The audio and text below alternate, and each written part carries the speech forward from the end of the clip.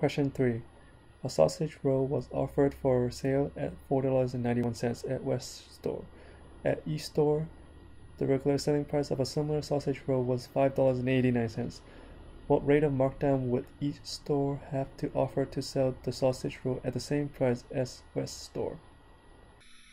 To find the rate of markdown, we're going to use the formula W equals E times 1 minus M. So W represent the sale, sales price at West Store, and then E represent the selling price at East Store, and then M represent the markdown. So we're going to plug in 4.91 for W, and we're going to plug in 5.89 for E, and then we're going to solve for M. To find M, we're going to divide both sides by 5.89. So we have 4.91 divided by 5.89 equals to 1 minus M.